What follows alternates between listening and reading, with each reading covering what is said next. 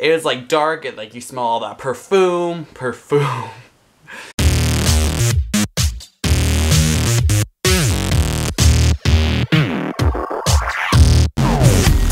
Hello beautiful creatures of the world and welcome to today's video. Today I'm going to be doing um, a mini rant and then a little haul. Um, so that should be fun, right? Okay, so today I want to talk about Hollister, which, okay, I went shopping online at Hollister last week and found some really cute clothes and only got like one thing and I realized that the size chart on that was a little bit off and so what I got probably won't fit me, so I'll probably have to return it.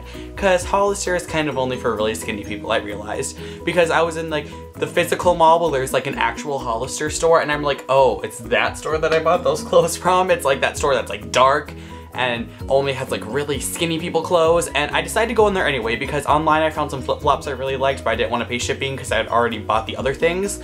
So I went in to look for the flip-flops and First of all, when I walked in there, it was like dead. It was like dark and like you smell all that perfume, perfume. you smell all that perfume. And they're the models who are like my age, maybe a couple years older, and they're like skinny and gorgeous and in California where it's beautiful. And I'm just like, uh, be in that situation. But then you go check out and there's like three people just standing at the checkouts and they're all so gorgeous. Like, oh my gosh. I have never walked into a Hollister store where the employees weren't gorgeous. Like, oh my gosh. That's why I could never work there. They wouldn't hire me because I'm not Hollister model level gorgeous. Like the workers look like the models. I'm not saying this to hate on gorgeous people. I'm just saying it's fact. I could never work at Hollister because of that. But I said this rant would be mini and I meant it because we're gonna move on to a haul now. So I bought some actual like flip-flops from them because I really like their flip-flops. And this is the kind I got like the gray with like the aqua turquoise. And the struggle is real because in Hollister flip-flop sizes I am like just a little bit too big to be a medium but I'm way too small to be a large. So the struggle is real. But I put up with it because these are just so cute. I don't know these are just like normal flip-flops too. Like there's nothing that special but for some reason I love them. So I don't know. I don't know and the other thing is something I bought online, the thing that I bought online, which I haven't even opened it yet, so let's get my scissors. Better not lose this since I might have to return it. Look at these, aren't these like so cute? Okay, let me get them out of the bag. Are these not so cute? They're like the really short leg, like mid-thigh, which is what I really want because I feel like my legs are my best feature. I just knocked the tripod, so I got a little shaky, a little earthquake happening.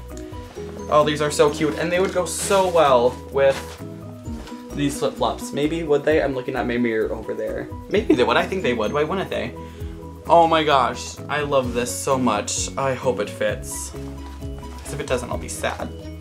Anyway, I want to thank you so much for watching this video. Give it a thumbs up if you liked it and also leave a comment telling me what you think or what kind of videos you want in the future. I might take requests. We'll see what happens. Also, social media links are in the bottom bar. Feel free to go to those and follow those. And if you haven't already, make sure to hit that subscribe button to become a beautiful creature of the world. And I will see y'all next time. Love y'all. Deuces.